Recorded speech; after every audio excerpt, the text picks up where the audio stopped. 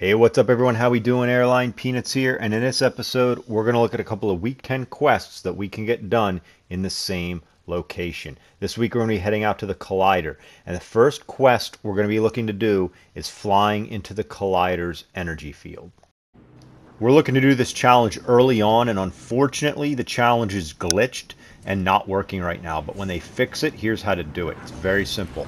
We're going to jump right into the middle of that Collider structure going to bounce you right back out if you do it right. You can do it right out of the bus if you want, that's probably the easiest. Or if you visit the collider from the ground, just use an ascender or build up to the platforms with the jump pads on it to get there. Same thing, and that's how you do that. Now while we're here, check out the big red crane. There's a turret nearby that we can repair to knock out another challenge easily. We're going to repair any turret using a repair torch. So we're in the southern section of the collider for this. Go into the garage area and go through here looking for a torch. You might get one in the red toolbox here. It might spawn on the ground if you're lucky. It all comes down to the luck of getting the torch. When you get one, go back to this turret, go up to it, and repair it just as you would repair a vehicle. You don't have to damage the turret. The turret doesn't have to be damaged. You can just use the torch on it until you get 300 hit points worth of repair on it.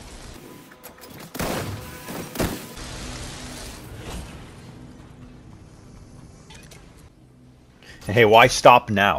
Let's use this mounted turret to do 1200 damage to a vehicle.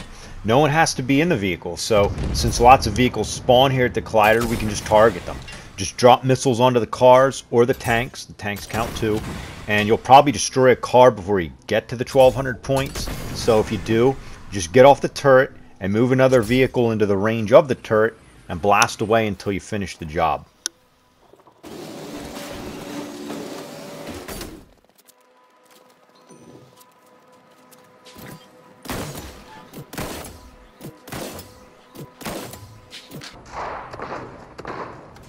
Alright, so that's going to do it, guys. That's how we can knock out three challenges quick on our stop at the Collider. Hope this one helps you out. Let me know in the comments section what you thought. Stay tuned for more in the future and check out our streams, and we'll see you on the next one.